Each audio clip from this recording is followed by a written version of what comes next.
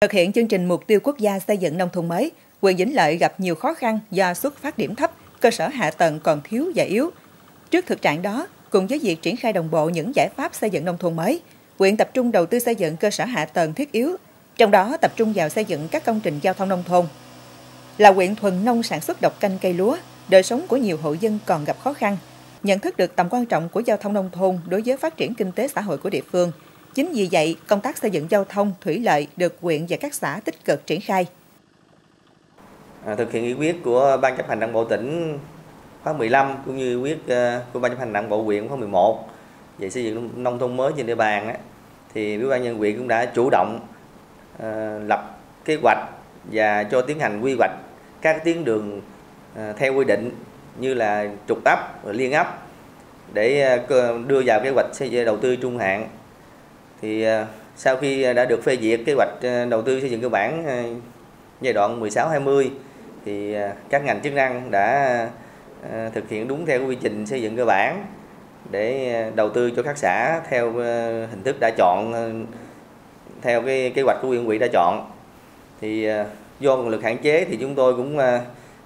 ưu tiên chọn đầu tư hình thức là cuốn chiếu, tức là xác định các cái xã mà đạt nông thôn mới hàng năm đó thì sẽ ưu tiên nguồn vốn, rồi đầu tư cho các các xã đó. Bên cạnh đó thì cũng ờ, dành một phần vốn để đầu tư cho các xã còn lại. Ờ, đối với những cái công trình bức xúc mà đi lại khó khăn của bà con thì ừ, ủy ban huyện cũng xem xét để đầu tư. Ờ, tuy nhiên thì vẫn ưu tiên nguồn lực cho cái xã để chọn đạt hàng năm. Đến nay thì là có 6 trên 7 xã là đạt tiêu chí giao thông theo quy định của bộ tiêu chí nông thôn mới. Còn đối với ờ, ờ, tiêu chí số 5 trường học thì thời gian qua ủy ban huyện cũng quan tâm, ưu tiên ừ, nguồn lực đầu tư cũng theo hình thức là cuốn chiếu cho các xã mà được chọn đạt nông thôn mới. Thì đến nay thì ờ, trên địa bàn huyện có 18 trên 28 trường đã đạt chuẩn. Trong thời gian tới thì huyện cũng phải cân đối nguồn lực để tiếp tục đầu tư cho các xã làm sao đạt cái tiêu chí tiêu chí số 5 này là phải đạt 75% ờ, các trường trên địa bàn xã. Hàng năm cùng với nguồn kinh phí của tỉnh, huyện Vĩnh Lợi đã chi hàng chục tỷ đồng và kết hợp nhiều nguồn vốn vận động nhân dân đóng góp hiến đất để từng bước hoàn thiện hệ thống giao thông nông thôn. Trên địa bàn huyện có 7 tuyến đường giao thông trục xã, liên xã với tổng chiều dài hơn 39.000 m, có bề rộng mặt đường từ 3,5 đến 5,5 mét. Đến nay được đầu tư nhựa quá đảm bảo ô tô đi lại thuận tiện, đạt 100% theo bộ tiêu chí nông thôn mới. Toàn huyện có 53 tuyến đường giao thông trục liên ấp, tổng chiều dài hơn 212.000 mét. Đến nay đã được đầu tư xây dựng 124.000 mét, đạt gần 59%. Huyện có tổng số 259 tuyến đường ngõ xóm, tổng chiều dài hơn 236.000 mét. Đến nay đã được đầu tư cứng quá và sạch, không lầy lội vào mùa mưa, với kết cấu mặt đường là bê tông xi măng, đan, bề rộng mặt đường từ 1,2 đến 1,5 mét, đạt theo tiêu chí nông thôn mới. Bên cạnh việc phát triển xây dựng giao thông nông thôn, huyện cũng chú trọng đến xây dựng cơ sở vật chất văn hóa nhằm góp phần nâng cao đời sống văn hóa cho người dân – Hiện nay, huyện đang tiến hành săn lấp mặt bằng trung tâm văn hóa thể thao của bốn xã, gồm Hưng Thành, Hưng Hội, Châu Hưng A và Vĩnh Hưng. Đồng thời, từ năm 2016 đến nay đã đưa vào sử dụng 12 nhà văn hóa ấp, trong đó gồm xã Châu Hưng 3 nhà văn hóa, Vĩnh Hưng 3, Hưng Hội 3, Long Thạnh 1, Hưng Thành 1 và Vĩnh Hưng A 1 nhà văn hóa.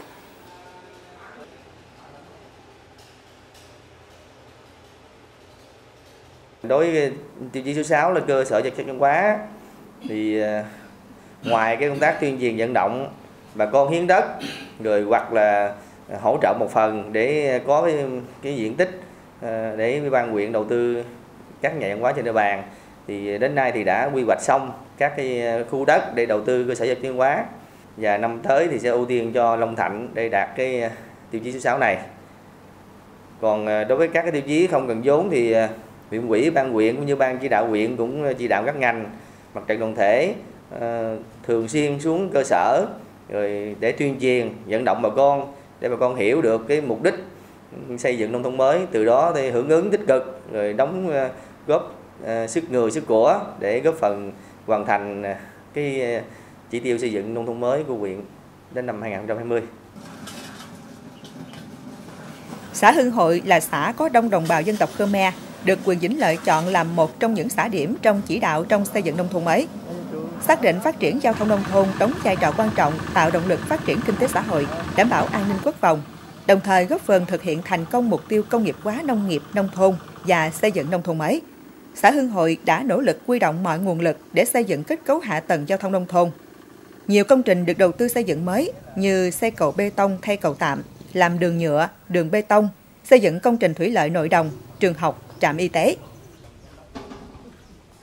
Hiện nay các tuyến đường liên xã, đường trục xã và đường ngõ xóm cơ bản được nhựa hóa, bê tông hóa, đáp ứng được nhu cầu đi lại và vận chuyển hàng hóa của nhân dân. Thực hiện ờ, chương trình mục tiêu xây dựng nông thôn mới ờ, đối với xã An Hội, thì ờ, tới thời điểm hiện nay thì xã đạt 15 trên 19 tiêu chí xây dựng nông thôn mới. Còn đối với tiêu chí số 2 về giao thông thì đã được Ủy ban dân huyện đầu tư. Thì đối với quy hoạch của xã là 6 tiếng, đường quy hoạch Ờ, trên ờ, với tổng số chiều dài là 21.210 m. Hiện nay thì ờ, được Ủy ban dân huyện là đầu tư, là được 4 tiếng đạt là trên 75%. Còn lại là 2 tiếng thì chuẩn bị đầu tư năm 2019. Về trong quá trình thực hiện tiêu chí số 2 về cái thuận lợi thì qua cái tuyên truyền vận động thì được nhân dân là đồng tình ủng hộ rất là cao hiến đất để mà thực hiện cái, các tuyến đường. À, còn về cái ờ, trong quá trình thực hiện cũng có khó khăn là trong cái quá trình nguồn vốn ờ, trong giai đoạn, đầu tư giai đoạn thì ờ, còn có nguồn vốn cũng hơi là trễ, cũng như là đề xuất của các xã lên với các huyện thì nguồn vốn thì cũng khó khăn, cho nên thì mới cái đầu tư khoảng đạt khoảng là 75%. Còn sắp tới thì Quỹ ban huyện cũng đã là ghi vốn vào năm 2019 tiến hành là thực hiện hai tiếng còn lại thì năm 2019 thì tiêu chí số 2 này phải đạt 100%. Ngoài ra nữa thì ờ, các tuyến đường ngõ xóm thì ờ, được nhân dân là thực hiện rất là tốt qua cái tuyên truyền vận động và nhà nước nhân dân cùng làm thì ờ, cơ bản thì đạt 100% là cái tuyến đường ngõ xóm là không lầy lội vào mùa mưa. Hiện nay, xã Hưng Hội đã hoàn thành 16 trên 19 tiêu chí. Những tiêu chí chưa đạt là cơ sở vật chất văn hóa, nhà ở dân cư và hộ nghèo. Để hoàn thành các tiêu chí xây dựng nông thôn mới, xã Hưng Hội xác định tiếp tục củng cố nâng cao chất lượng những tiêu chí đã đạt, tập trung chỉ đạo thực hiện 3 tiêu chí chưa đạt. Trong 3 tiêu chí chưa đạt thì tiêu chí cơ sở vật chất văn hóa đang được xã khẩn trương thực hiện. Đối với ờ, tiêu chí số 6 về ờ, cơ sở vật chất văn hóa thì ờ, trên địa bàn xã thì có 9 ấp thì được Ủy ban dân huyện là đầu tư được 8 ấp. Còn à, đối với ấp trung tâm của xã thì nó nằm chung là khu thiết chế văn hóa của xã, cho nên là không xây dựng. Còn à, tới thời điểm hiện nay thì à, nhà văn hóa của xã đã được là xây dựng và sửa chữa, là được là năm trên chín ấp đã được sửa chữa xong và đưa vào hoạt động các nhà văn hóa đưa ra vào hoạt động thì để mà tập hợp nhân dân cũng như là vào các ngày cái dịp lễ, Tết cũng như là các cuộc họp nhân dân thì cái này cũng phát huy trong thời gian qua phát huy rất là tốt. Ở ấp Cái Giá khi chưa xây dựng nhà văn hóa, mỗi khi có hội họp hoặc có công việc cần tập hợp bà con, các cấp chính quyền, các tổ chức đoàn thể thường phải mượn nhà dân, trường học, có khi phải mượn cả nhà chùa để sinh hoạt. Thực hiện chương trình quốc gia xây dựng nông thôn mới, ấp Cái Giá được đầu tư xây dựng nhà văn hóa khá khang trang và nơi đây đã trở thành nơi sinh hoạt cộng đồng rất tiện ích. À, năm 2017 thì nhà văn hóa chúng ta sẽ đưa vào sử dụng.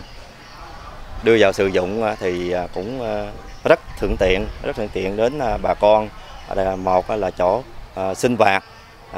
chuyển giao khoa học kỹ thuật nào việc thứ hai là chỗ tuyên truyền vận động để người dân. Rồi thứ ba là chỗ thấy cái nhà văn hóa này rất là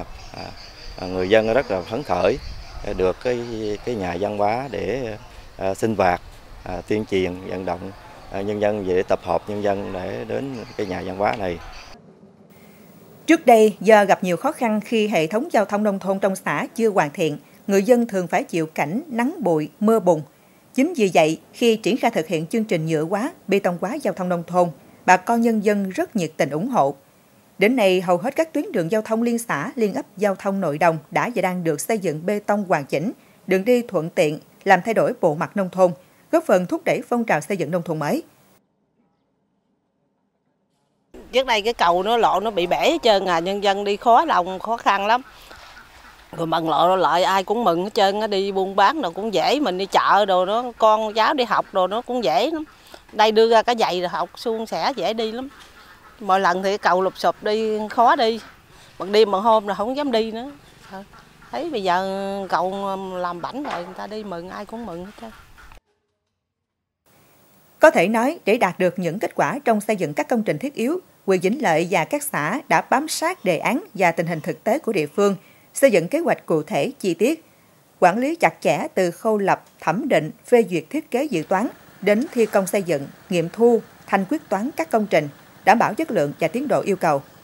Trong quá trình triển khai đã thực hiện tốt quy chế dân chủ, công khai minh bạch với phương châm dân biết, dân bàn, dân làm, dân tham gia quản lý và sử dụng –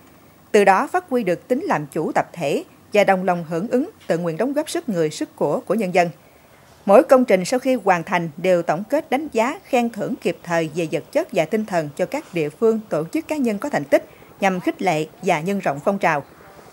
Tuy nhiên, bên cạnh những kết quả đã đạt được trong xây dựng nông thôn mới, thời gian qua, quyền Vĩnh Lợi cũng còn những hạn chế tồn tại trong quá trình triển khai thực hiện. Đó là nhu cầu kinh phí cho thực hiện tiêu chí lớn nhất là tiêu chí xây dựng cơ sở hạ tầng kinh tế xã hội, nhưng nguồn lực còn hạn chế. Nguồn vốn trực tiếp từ chương trình mục tiêu quốc gia xây dựng nông thôn mới chưa đáp ứng được nhu cầu. Đây là vấn đề rất khó khăn nên quyền Vĩnh Lợi rất cần sự hỗ trợ từ tỉnh và các ngành chức năng nhằm tạo điều kiện cho huyện hoàn thành các mục tiêu về xây dựng nông thôn mới theo lộ trình đã đề ra.